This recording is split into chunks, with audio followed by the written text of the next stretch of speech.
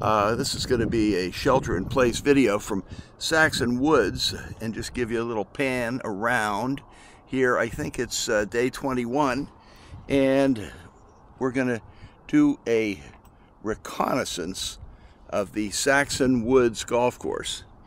And what you do is walk up this hill behind me, and I can turn around and look and see if the people at Saxon Woods are sheltering in place or if there is some illegal golf going on.